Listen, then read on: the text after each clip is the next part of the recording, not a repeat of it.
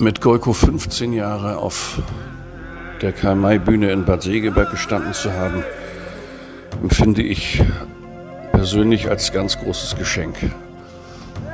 Ich habe dadurch einen Menschen kennengelernt, den ich zutiefst schätze, dessen Arbeit ich verehre und ähm, der für alle Zeit wirklich einen großen Platz in meinem Herzen einnehmen wird. Irgendwie ist Gorko mir immer gegenwärtig. Also ich habe dort jemanden kennengelernt, der voller Empathie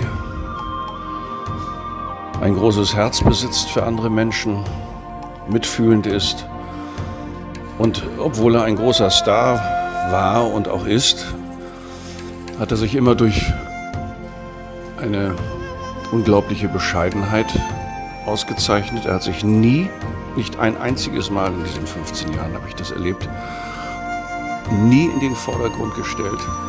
Er hat sich immer als Teil eines Ensembles begriffen. Und für ihn waren alle Menschen, die an der Bühne gearbeitet haben, gleichwertig und gleich viel wert. Und dementsprechend hat er alle behandelt. Mit der gleichen Höflichkeit, mit dem gleichen Respekt, vom Kartenabreißer vor der Tür bis äh, die Leute aus den Gewerken oder im Büro oder eben seine Kollegen, die mit ihm auf der Bühne gestanden haben. Und er war stets äh, für alle da, hat alle umsorgt, hat immer geschaut, ob es allen gut geht. Auch den Statisten hatte immer ein Auge darauf und hat äh, auch immer allen Leuten mit guten Ratschlägen zur Seite gestanden. Aufgrund seiner großen Erfahrung, die er hatte Umgang mit Pferden, mit Stuntgeschichten, mit dem, was er eben schon alles erlebt hat in seinen unzähligen Verfilmungen für die DEFA, die er gemacht hat. Ganz großartige Filme. Das war so der eine Teil, den ich äh, mit Golko erlebt habe. Und der andere sind so die ist die Rolle, die er ausgefüllt hat. Und das ist, finde ich, für mich eben auch etwas ganz Bemerkenswertes, da Goiko nie den Winnetou gespielt hat, sondern er war es. Er ist immer Winnetou gewesen. Und das liegt auch daran, dass er ein ganz großes Interesse an, der, an den indianischen Völkern gehabt hat oder hat. Ich weiß, das hat er immer noch. Und eben aufgrund dessen sich auch sehr für die wahren Hintergründe der Indianer, deren Kultur, deren Philosophie, deren Gebräuche interessiert hat. Er ist oftmals in die USA geflogen, hat dort indianische Freunde besucht, hat mir oft davon erzählt, auch hat an Schwitzbädern teilgenommen, hat spirituelle Erfahrungen gemacht und hat das eben auch gelebt und hat das versucht in seine Rolle einfließen zu lassen und auch in der textlichen Gestaltung das eine oder andere dahingehend verändert, weil er sagte, das ist irgendwie, ist ihm dann wichtig oder auch die Botschaft, die dort versendet wird. Und wir haben ja früher auch mal diese indianischen Leseabende gemacht.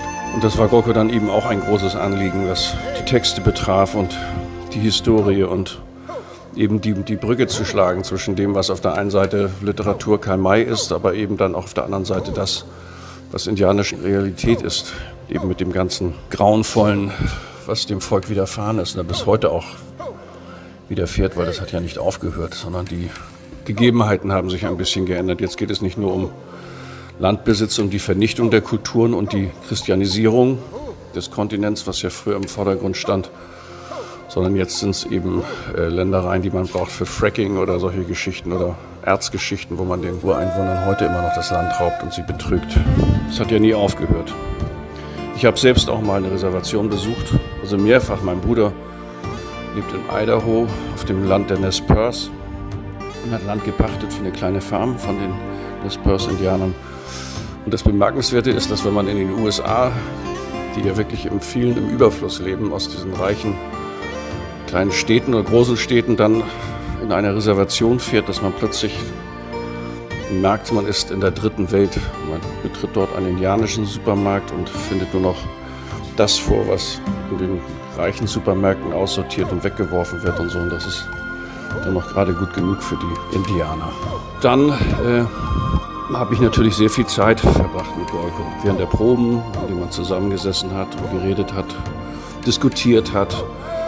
Kein Blabla, sondern viel über Philosophie, über Politik, über, über anspruchsvolle Themen.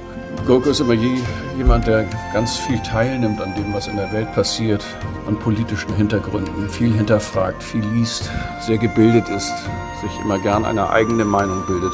Ich habe auch das Glück gehabt, mit ihm in einem Sommer gemeinsam zu wohnen. Das heißt, wir haben uns ein, gemeinsam ein Haus gemietet und haben ein Haus geteilt und haben dort viele Abende gemeinsam in der Küche gesessen und gekocht und tolle Gespräche geführt was mich sehr berührt hat. Und zwar, Gorko ist so jemand, der nach außen hin sehr wenig Gefühle zeigt. Also er ist immer sehr, sehr bei sich und sehr reserviert und sehr beherrscht in allen Dingen, die er macht. Und das war auch so, dass mich das erstaunt hat, wie man das kann. Das war seine letzte Vorstellung in Segeberg. Und er hat sich nichts anmerken lassen. Und ich weiß, ich weiß, wie, wie schwer es ihm gefallen ist. Und es hat ihn innerlich zerrissen. Und er wird auch innerlich sehr geweint haben. Und aber er hat sich nichts anmerken lassen. Man hat es ihm nicht angesehen und er hat seine Abschiedsmoderation vor all dem Publikum, die so angefasst waren und die meisten hatten Tränen in den Augen, hat er auf seine liebenswerte Art moderiert sozusagen und eine Ansprache gehalten und man hat es ihm, man hat es halt nicht gesehen. Ich, ich hätte das nicht gekonnt. Ich wäre wahrscheinlich zusammengebrochen. Und da habe ich dann mal etwas erlebt.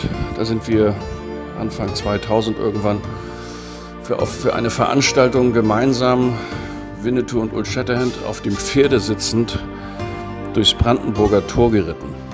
Und das ist ein Moment gewesen, der hat ihn so tief berührt, dass ich neben ihm herritt und gesehen habe, Golko Mitic schliefen die, die Tränen über die Wangen.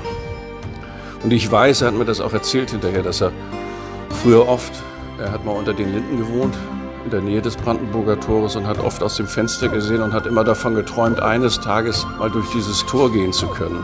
Und in seinen kühnsten Träumen vielleicht auch als Indianer einmal durch dieses Tor zu reiten. Und das ist dann halt irgendwann wahr geworden und das, da hat er dann die Fassung verloren. Das war ein sehr ergreifender Moment für mich, den werde ich nie vergessen. Ja, und was auch noch ganz schlimm gewesen ist für mich als Erinnerung, weil das so intensiv war, gefühlsmäßig, das war eben auch der Abschied von Golko. Und damals habe ich, ich weiß gar nicht mehr, welche Rolle ich spielte. Ich war ein böser Indianer, der ihn erschoss auf der Bühne. Und irgendwann kam dann der letzte, die letzte Vorstellung. Das letzte Mal Golko töten, zu wissen, zu erschießen. Er ist dann danach nie wieder an dieser Bühne, was ja Gott sei Dank nicht so war, kam er noch wieder zurück.